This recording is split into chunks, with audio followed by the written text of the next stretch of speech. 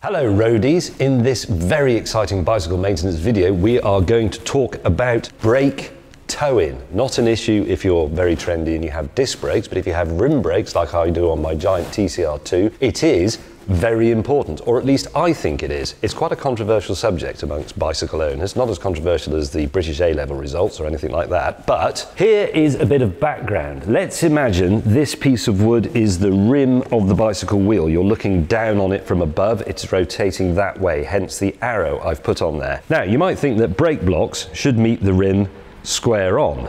That makes perfect sense. You get all the surface of the block in contact with the rim. You definitely don't want them to touch the rim like that with the trailing edge coming in first because then the rim will drag the blocks in and you will get judder and probably squeal. And it remains true that even if your brake blocks do meet the rim like that, a bit of flex in the brake mechanism itself will probably cause them to do that slightly anyway. And then again, you will get snatch and judder, which doesn't feel right. So what a lot of serious cyclists say you should do is toe in the brakes. That is, the leading edge of the block meets the rim first. I'm exaggerating greatly here, it's a tiny difference, but the leading edge meets first, and then as the rubber compresses and the brake flexes very slightly, the rest of the pad comes into contact. That gives you very nicely progressive, modulated braking, much better feel, and bicycles, of course, are all about feel. Nothing communicates with its user quite as feverishly as a bicycle does.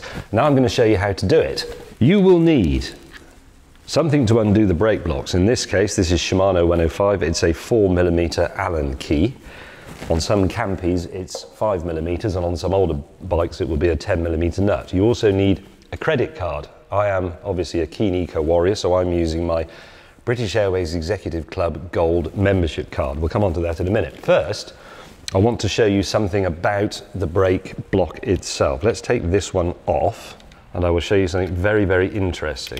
I might have to put my children's TV presenter glasses on. Hang on a sec. Okay, there is the screw that secures the brake block.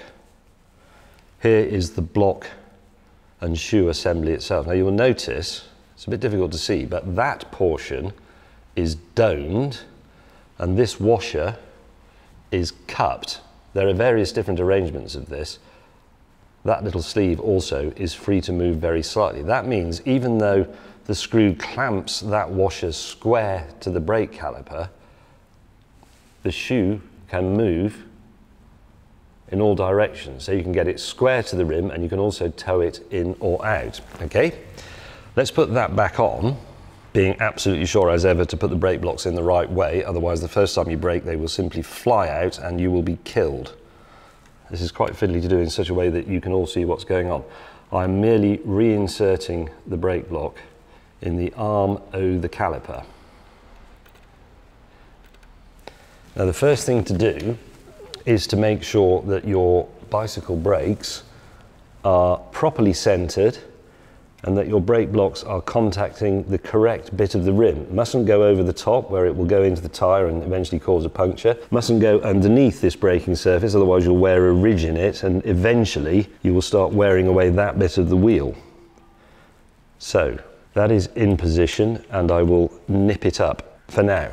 These brakes are perfectly centered and aligned because obviously this is my bicycle and I did it.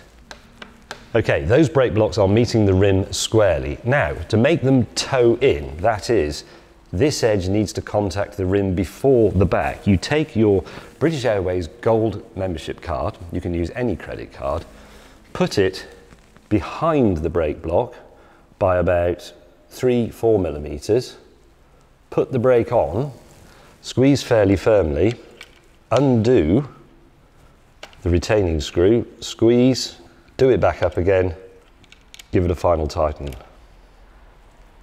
Thus, go and do the same thing on the other side, obviously.